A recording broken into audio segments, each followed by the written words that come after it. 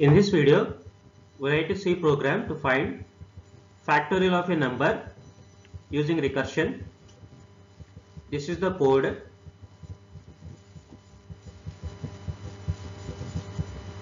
So first of all, we have taken function prototype, integer factorial of integer. The factorial function will take a number, integer argument, and it will find factorial. It returns that particular factorial value. In the main function, we have taken n variable, n is input variable and fact is the output variable. And after reading n value, we are calling function factorial in this particular statement. Fact is equal to factorial of n. That means now n value is passed to factorial function is called as well as n value is passed. And in the factorial function, there is a base condition here. What is the base condition? If n value is equal to 1 or n value is equal to 0, then we are returning 1 to the calling function. Otherwise, we are uh, performing recursive function calls that is n into factorial of n minus 1.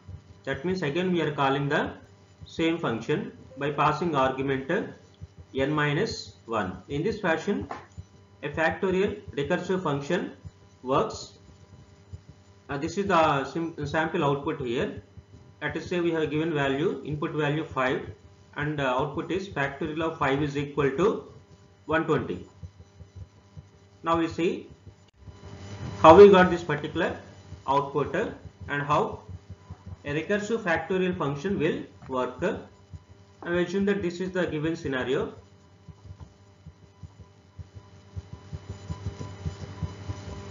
Now assume that we have given value 4. Now assume that n value is 4. Then factorial function is called by passing value 4. Now in this particular uh, function a copy of factorial function is created and uh, here n value becomes 4. Here 4 is, uh, is equal to 1. This condition is failed. Why? Because 4 is not is equal to 1 and 4 is not is equal to 0 then we come to else part here. 4 into again factorial function is called factorial of n minus 1 n minus 1 means factorial of 3 again factorial function is called here. Another factorial function is called by passing argument 3 here n value becomes 3 this is another copy of factorial function. n value becomes 3 here also 3 is not is equal to 1 and uh, not is equal to 0 again we come to else part. In else part it will call 3 into factorial of n minus 1 that is 2 3 minus 1 that is 2 that means another factorial function is called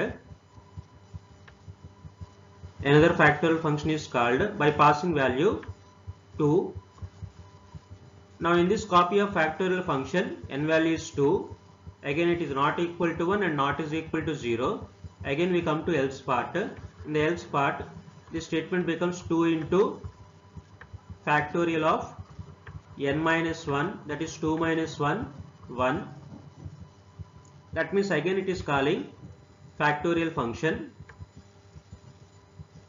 by passing argument 1 here n value becomes 1 now in this particular case n value is equal to 1 this statement becomes true. Then immediately it returns 1 that means at this point of time we are stopping the recursion process. It is returning 1 it is returning 1 to this particular place that means at this point of time the recursive the recursive function calls are stopped. That means recursion is stopped. And 1 is returned. Now this value becomes that is equal to 2 into what is f of 1 returning? F of 1 is returning 1 value. 2 into 1 this value becomes 2 and this 2 is returned to its caller that is uh, to this particular statement. Now this value becomes 3 into 2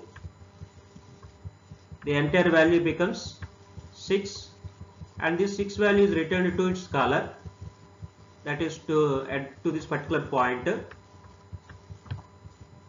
Now this value becomes 4 into 6 that is 24 and this 24 is returned to its caller. Who is the caller for this function? Main is the caller and this is the point where the factorial function is called. And 24 is returned to this particular place. Now this value becomes uh, 24 and this 24 is passed to fact variable. And finally we are printing fact value that is 24 n value is 4 and the factorial value is 24 in this fashion recursive function calls are executed. Now we see what is the involvement of stack. And before discussing that why we have used n is equal to 0 base condition here? Why? Because 0 factorial becomes 1 that is the purpose why we have used n is equal to 0 okay when this program is executed initially main function is called and it will occupy memory in the stack.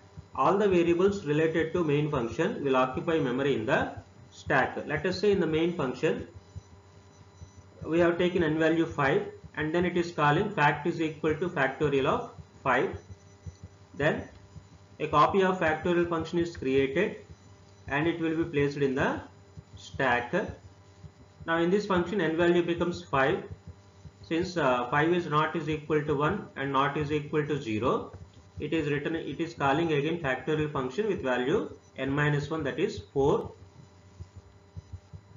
again factorial of 4 this particular copy of function is created with n value 4 here also 4 is not equal to 1 and not is equal to 0 again it returns 4 into factorial of n minus 1 that means again it is calling factorial function with a with value 3 another copy of factorial function will occupy memory. Here n value becomes 3 again it is calling 3 into factorial of 2 another copy of factorial function is created with n value 2 here n value becomes 2 again it is again it is calling factorial of 1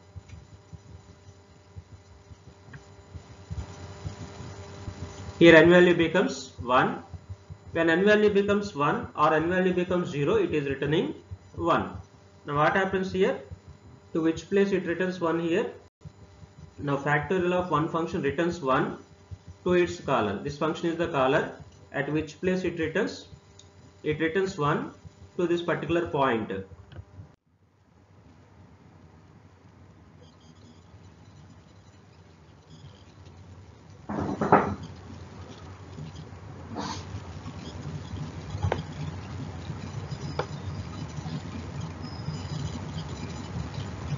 Now it returns 1 here.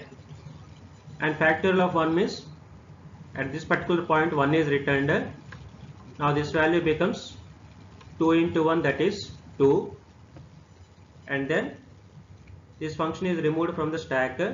And this 2 is returned to this particular place. And it is removed from the stack. And this value becomes 3 into 2 6 and it is returned to this particular place and this is removed from the stack. And this value becomes 4 into 6 24 and this 24 is returned to this particular place. And this function is removed from the stack. And finally